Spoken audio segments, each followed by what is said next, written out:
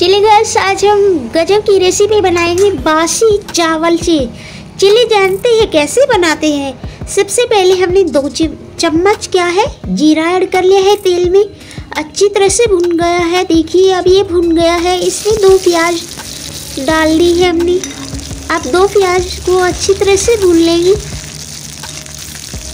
Video अच्छी लग रही है तो लाइक और शेयर कर दीजिए। चैनल को सब्सक्राइब कर लीजिए। बेल आइकन प्रेस करके। देखिए, अब ये प्याज जो है, अच्छी तरह से भुन जाएँगी।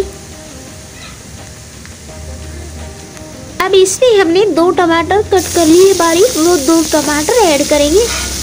अब दो टमाटर ऐड कर दिए हैं। इसमें दो से चार लहसुन की फोथी डालनी है।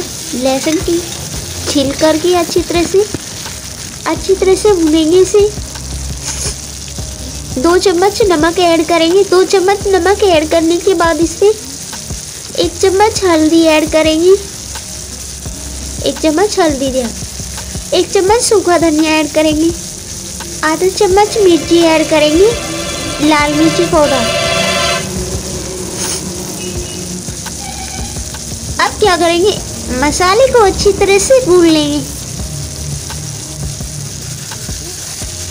मसाले को 20 सेकंड तक भून लेंगे अच्छी तरह से, मसाला रेडी हो जाएगा। देखिए, गजब का टेस्ट आएगा। खिचड़ी से भी ज़्यादा टेस्टी बनेंगी। देखिए, बासी चावल की ये रेसिपी एक बार ट्राई ज़रूर कर लीजिएगा। अभी देखिए, इसमें हम एक गिलास पानी ऐड करेंगे अभी। ये रेडी हो गया है मसाला। अब इसमें एक गिलास पानी ऐड करेंगे।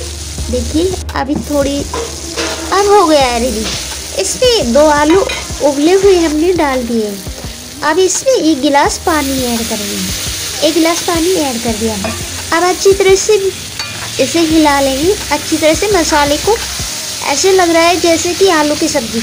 आप चाहें तो ऐसे भी खा सकते हैं। आलू की सब्ज़ी रेडी हो गई है। अब देखिए, अब इसमें हरी मिर्ची ऐड दी है। दो से चार।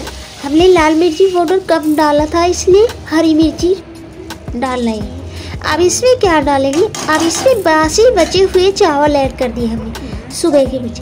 एक बार ट्राई ज़रूर करना और बताना कमेंट